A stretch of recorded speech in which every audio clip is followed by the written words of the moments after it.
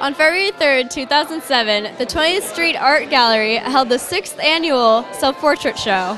This night was created for CB students to show off and sell their magnificent artwork.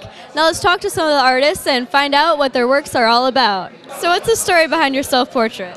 Well, sometimes when um, the weather's nice, I like to sit in my backyard and just kind of, you know, have a cup of coffee. So I thought that I should reflect that in a painting. Actually, the background, it's kind of funny. There was um, this piece of wallpaper or wrapping paper left over from Christmas, and I saw it and I was like, well, that would be really cool for the background of my painting because I was thinking about it.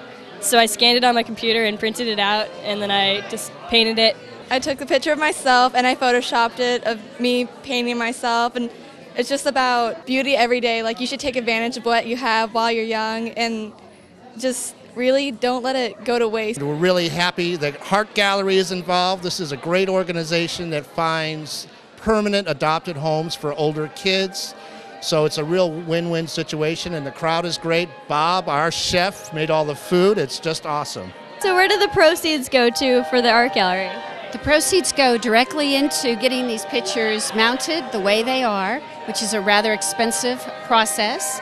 Ferrari uh, Color donates thousands of dollars to back up and helping us make this happen.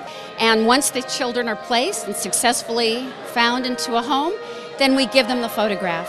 Everyone who attended the art show was also entertained by the fabulous music of Christian Brothers High School students. I want the whole night to be special. I want the food to be special too. If I do the cooking, I know it's going to be good. You also have a few pieces of art yourself up here, right? Yeah, they're from a, an old show I did here. And every time they have room, they hang them. And next week you're having your own exhibit, I hear? Uh, me and I think four other painters. And our best of show, a $500 gift certificate to University Art, a medal and a certificate of participation goes to Brian Caselli. I heard you just won Best in Show. Yeah. Yeah. Pretty, I was pretty surprised. My uh, my mom came here earlier today, and uh, she came back. She was all smiley, and I was asking her about it, and she wouldn't tell me anything. So it was quite a surprise. Isn't it wonderful, Mr. McGovern, what's going on down here?